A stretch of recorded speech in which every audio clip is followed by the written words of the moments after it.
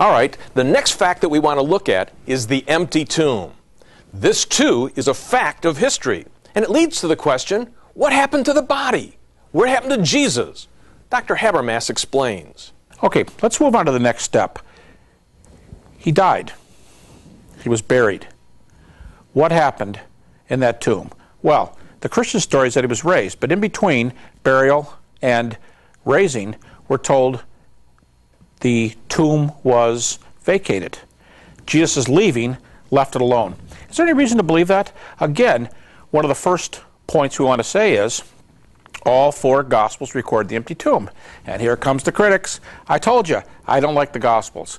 What do we have to back up those early Gospel stories of the empty tomb? Let me give you three big evidences right off the bat. One is that the earliest witnesses to the empty tomb are women. Why is that important? Because if you're making up the story, remember our Monday morning quarterbacking scenario. If you're making up a story, putting the words back into the mouths of the earliest Christians sometime later, don't use women for your first witnesses. Why? In the first century, they were not allowed to testify in a court of law. They were not to, believed to be able to tell the truth. We're actually told that. They couldn't testify. So why do you take people who can't go on the witness stand? It would be like making your chief witnesses little children. Why do you say, there they are, the tomb's empty, the women saw him? Unless, in fact, the woman found the empty tomb first. Okay? Second reason the Jews believe the tomb was empty. Now, there's a fact in history, there's a method in history, rather, that says when your critic admits something, most likely it's correct. If, if you can't stand somebody and you say he's this and that and this and that and this and that, but he is a brave person, chances are he's a brave person. And the disciples said, the tomb is empty. Now they thought the disciples stole the body, and nobody, virtually no reputable scholars, held that theory for over 200 years because liars don't make martyrs. You explain the disciples' transformation and their honest belief. If they stole the body and lied, you have no explanation for James, you have no explanation for Paul.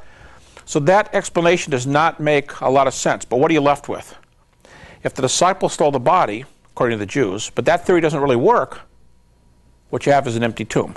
What it seems like is that the Jewish leaders are making something up to, making an explanation to explain a fact. The body's gone.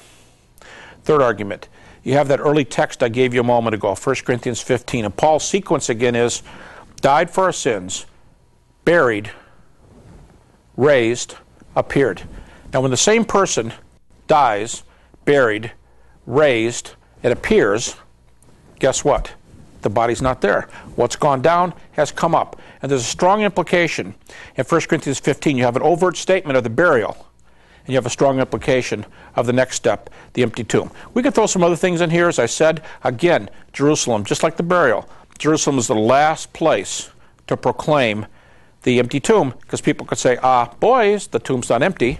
And they can take you right back there. Acts 13 29, another early creedal passage, says he was buried and the tomb was empty. So here's another half dozen arguments, but especially I like the women. I like the Jewish admittance of the empty tomb, and I like Paul's creed in 1 Corinthians 15. It's three real tough arguments that say, you know, what the gospel said, they have the ring of truth.